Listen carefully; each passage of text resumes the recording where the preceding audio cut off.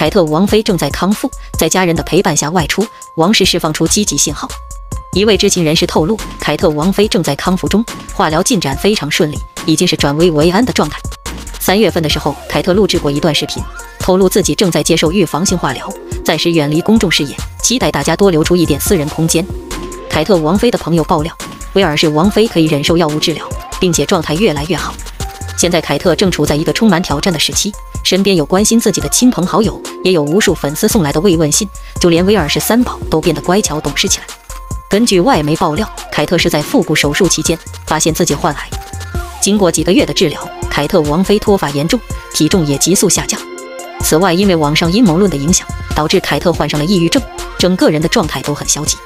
尽管遇到了这么多困难，但是凯特王妃却一一克服。一方面积极配合医生治疗，另一方面也在处理一些简单的公务，协助王室进行危机公关。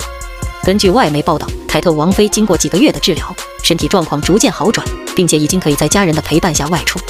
无论如何，都是一个积极的信号，至少证明凯特王妃还活着，并且正在逐渐恢复健康。王室专家理查德·菲茨威廉姆斯认为，英国王室终于坐不住了，逐渐放出凯特治疗细节，可以外出走动，就是一个很好的现象，证明凯特有望复工，甚至网上的阴谋论都要烟消云散。当然，每个人都有自己的想法。粉丝希望早点见到凯特，王室高层也有更加深层次的考量。凯特王妃正在经历艰难时刻，到底什么时候复工，还要看医生的建议。无论如何，都迈出了最关键的一步。威尔士王妃可以外出行走，也能做一些力所能及的事情。刚刚过去的心理健康周，威尔士王妃分享了一段做公益的视频，支持和鼓励学生们努力学习，并且还给出了很多人生建议。眼看网上的阴谋论越来越多，王室也开始行动起来。增加凯特线上露面的次数，只有多跟外界接触，释放出一些积极的信号，才能让民众和粉丝放心，谣言也就不攻自破。根据白金汉宫的报道，自从凯特王妃宣布患癌后，收到了无数慰问信，他们在努力做分类，最终由工作人员代为回信，感谢他们支持和鼓励凯特王妃。英国临近大选，大家的关注点都被政治吸引，反倒凯特王妃的热度下降了很多。事实上，王室在这个时候辟谣。简直再合适不过，也能起到最佳的效果。